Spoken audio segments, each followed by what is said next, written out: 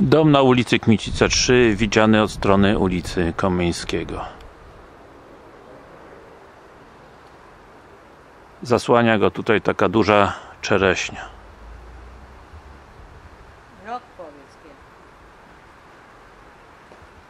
Filmik zrobiony 21 maja, 21 września 2012 roku.